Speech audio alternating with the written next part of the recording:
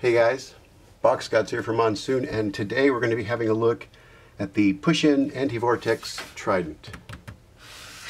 If you're not familiar with that, the or what the anti-vortex Tridents are, they come in two varieties. Uh, the TRP has a bolt-on Trident already installed when you buy it. Uh, what they actually do is, as water uh, is spiraling down in the pump, uh, this actually lets you mount a D5 directly to a tube reservoir in the modular reservoir system. Uh, what this does is keep a vortex from forming inside like that little spinning water tornado that you see that can draw air into the pump. Like I said, this is the bolt-on variety and it already comes pre-mounted to the TRP. I'm just showing you that for a reference, by the way. These are the push-in type. They come in a two-pack. Go ahead and open them up.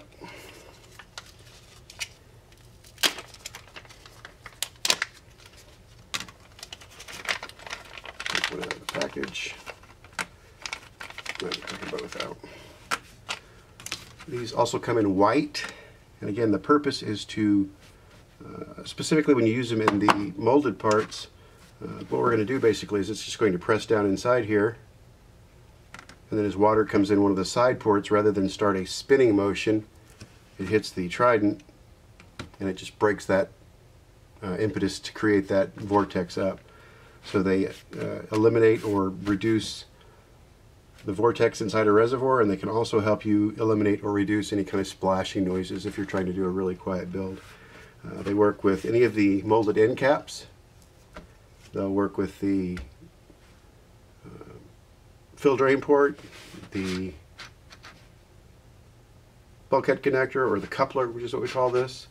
Basically any of the molded parts you can uh, press one of the tridents in. they also come in molded white for the white end caps.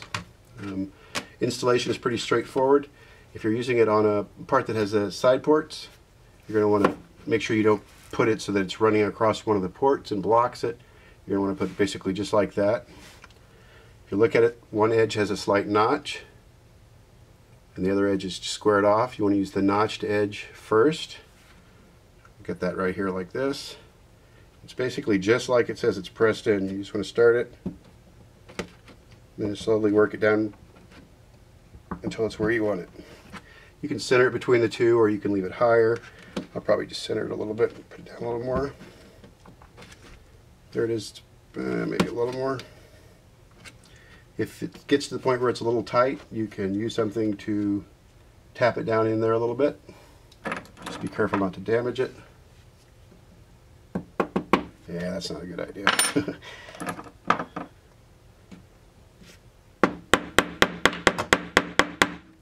Just about like that. That's all there is to it. Again, what happens is water comes in rather than getting a chance to start spinning up. It just hits that and it breaks the, the flow up. And it works the same way if you're doing one of the end caps.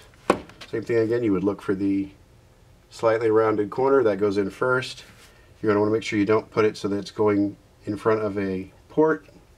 You'd set it in place. I don't want to push this one in because I'd have a hard time getting it out. Uh, basically, that's how they work.